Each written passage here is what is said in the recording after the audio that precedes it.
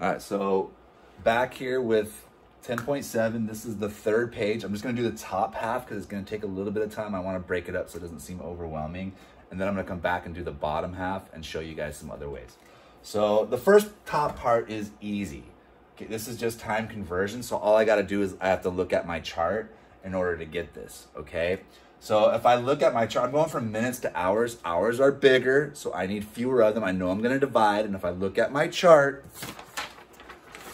I'm gonna go from minutes to hours. Right there, it says 1 60th, right? Which means that I'm gonna take 540 and divide that by 60.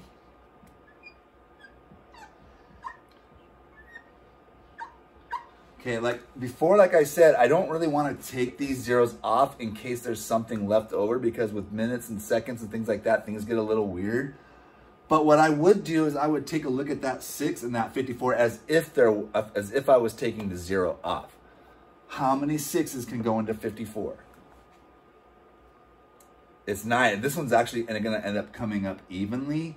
So I'm to put a nine there. 60 won't go into 54, but it will go into 540. And to check my answer, all I'm to do is go 60 times 9, 0, and 54. And I know that that works. That's 9 hours, okay? Um, so just remember, you can, don't take them off, but leave, leave them on, but pretend like you did just to get a reasonable estimate so you don't mess things up, especially when the numbers get bigger, like a problem from the first page. Uh, if I want to go from days to hours, Hours are smaller than days. Yep. And I just need to know how many there are. If they're smaller, I need more. I'm to multiply, right? How many hours in a day? Everybody knows this. There's 24, which is military time, right? 24 hours in a day. So I'm to take 24. I'm to multiply that by 8. 8 times 4, 32. 8 times 2 is 16 plus 3 19, good. So I get 192 hours. All right, so eight days is 192 hours from now.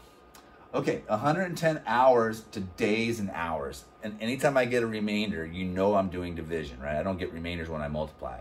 And it makes sense because days are bigger, so I need fewer, so I'm gonna divide. And there are how many hours in a day?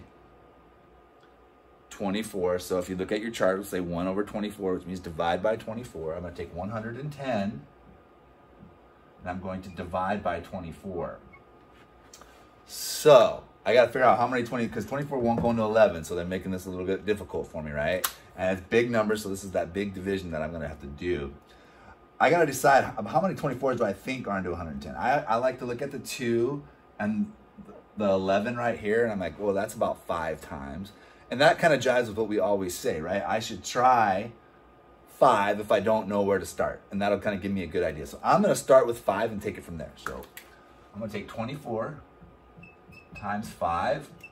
What is five times four? 5, 10, 15, 20, right? So I put a zero here and a two there. And five times two, 10, right? Plus two, I get 12. So I get 120 so I know that 5 is too big. I cannot subtract 120 from 110. So, and it, but it's close. So what should we try? Yeah. So I'm going to make 24 times 4. 4 times 4 is 16. Yes, I'm to put that there. And a 1 up there. What's also good about starting with 5 is like everything's so even. Um, but I digress. 4 times 2, 8 plus 1, nine, I get 96. Okay. So I'm gonna put a four right here all the way at the end. Make sure you keep your place value straight, right? And then I'm gonna subtract 96 and see how many hours I have left. Zero minus six is of course six.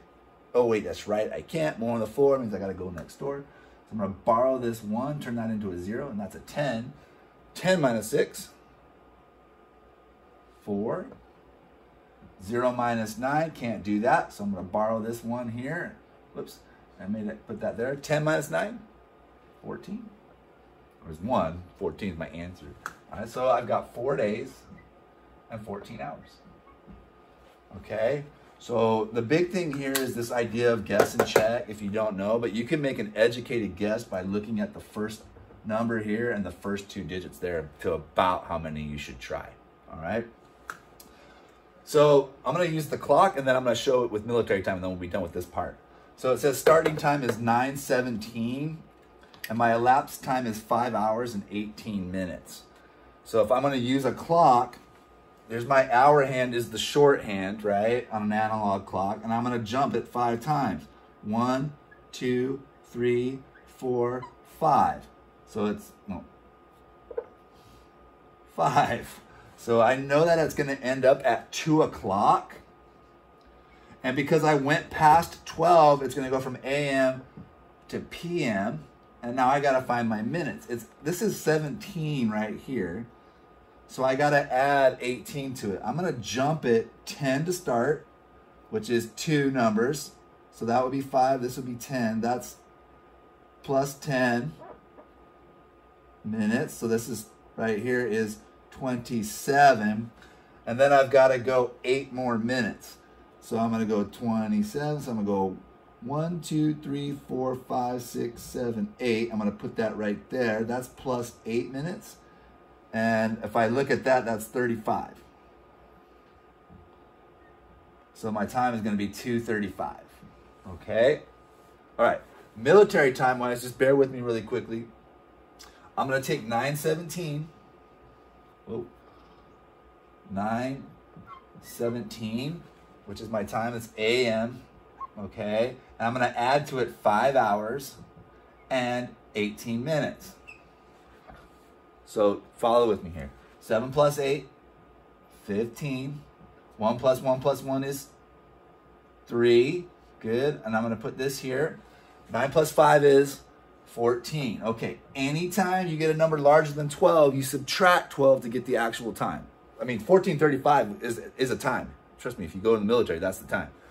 But I'm going to subtract 12, and I get 35, of course. And then 4 minus 2 is 2, and then 1 minus 1 is 0. I get 235. So I get the same answer. All right? Things get a little bit hairy later on. I'm just going to show you there's only two things you really need to remember. All right, next video.